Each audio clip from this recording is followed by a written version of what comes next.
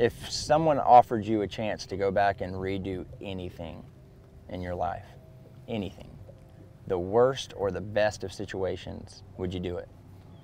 I don't have a fear of dying. I, there's not an ounce of me that's scared to die.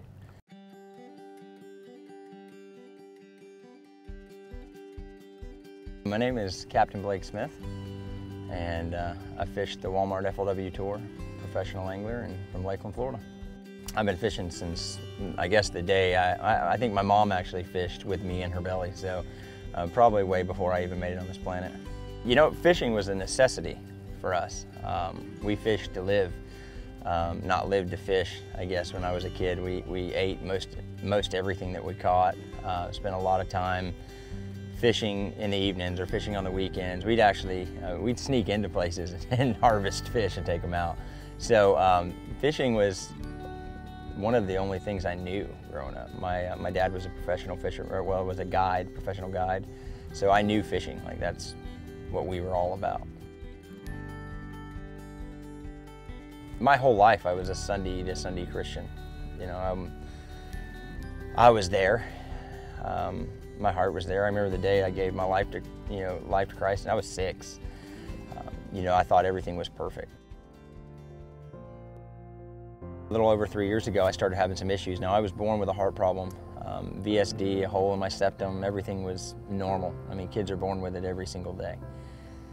Um, you know, the, the biggest thing with it was uh, I was able to live, I was able to play sports, I was able to do all the things other kids were able to do, and I never thought twice about it.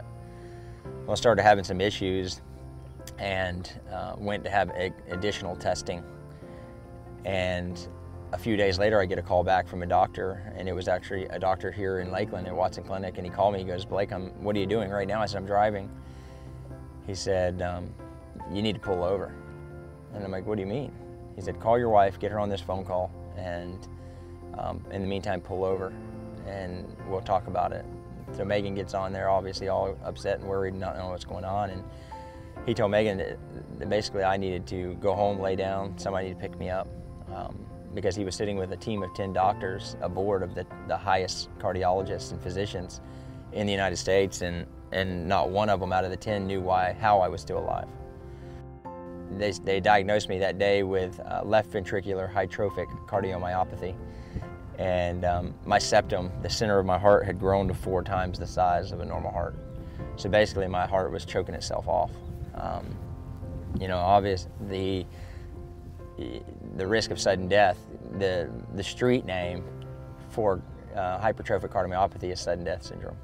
You know, it kills more athletes every year than than any other drug or anything like that because they don't know that they have it. You know, they're running across a basketball court or playing ice hockey and they just drop and, and there's no coming back. You cannot come back from it. Um, it's, it's sudden death syndrome for a reason.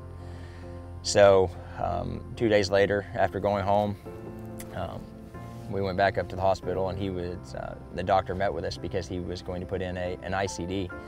I have a, I have a cardiac defibrillator and pacemaker in my left chest and um, the doctor came in and met with us before the surgery, minutes before the surgery, and, and, I was pretty terrified to think that even those three days, two or three days waiting to go to the hospital, that, um, you know, after he told me that out of all the people in the United States, if there was a, a, a list of people at risk for sudden death, that I would be on the top of the list because it was the worst that he'd ever seen. We went in and he met with us before the surgery, and I'll never forget him walking in and saying, you know, there I had I don't usually meet with my, my people before I do the surgery. I do the surgery, meet with them after, but I had to come and tell you because he said it's a 50-50 chance that you're not going to walk out of here today because they have to essentially stop your heart and restart it and um, put you into cardiac arrest and pull you out of cardiac, cardiac arrest. And he said that he's never had to do that in 10,000 surgeries, that he had never seen one that bad, and he was scared there would be a risk of me not restarting talking to the, their team of doctors that worked on me when they did my surgery, and they had hit me twice with 900 volts to bring me out, bring me out of it. And they said every single person was sweating bullets in that room because they'd never, most of the time they don't have to hit somebody twice. My wife was very pregnant with our second uh, little girl, Emerson. Uh, Annie was a year old, uh, my oldest, and you know, I, I started, I remember immediately praying that, um, that God would give me clarity, that He'd give me peace, and He did, and, and it was a surprising, shocking peace. Um, I remember praying everything that I could possibly pray.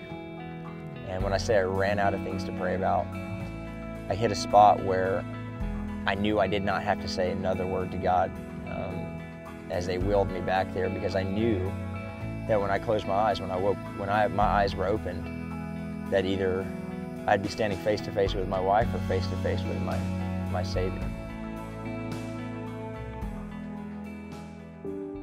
I woke back up um, afterwards, and obviously my wife was there.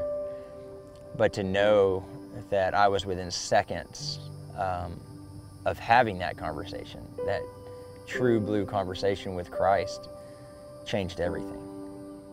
You know, it, my, it rocked my whole world because I knew it was real. Like I knew it wasn't just a uh, um, a Sunday school thing anymore. I knew that I was within seconds of getting to meet um, my Father, you know, my heavenly Father. Um, I still have sudden death syndrome, and there's still a 50-50 chance that if I hit the ground today, that I might not get back up. Um, and I know I'm ready. I mean, that's I live every single day knowing that if I drop and my defibrillator doesn't kick or something else that I, I know where I'm going, I know what I'm doing, I, I know that that life will be, that I've lived life to the fullest here and shared the gospel with every person that I could share it with. You know, I, I think the, the, one of the, the cool aspects of fishing professionally is, you know, we are fishing for prizes. We are, we're fishing for big, big checks. Um, you know, I'm fishing for 125,000 bucks. I'm fishing for trophies, um, trophies that some men on this planet idolize You know, whether it's the Forrest Wood Cup or a tour level event win. Um, and they're huge. Don't get me wrong, I think they're absolutely awesome. But in comparison to my salvation, they mean zero. They don't mean anything. You know, my salvation, my relationship with Christ, my opportunity to be born again into the kingdom is by far the greatest prize I could ever possess and I cherish that. Uh, if you're questioning that, if you're questioning uh, your relationship with Jesus or wanting to learn more about a relationship with Jesus, you can check us out at idolsaside.com.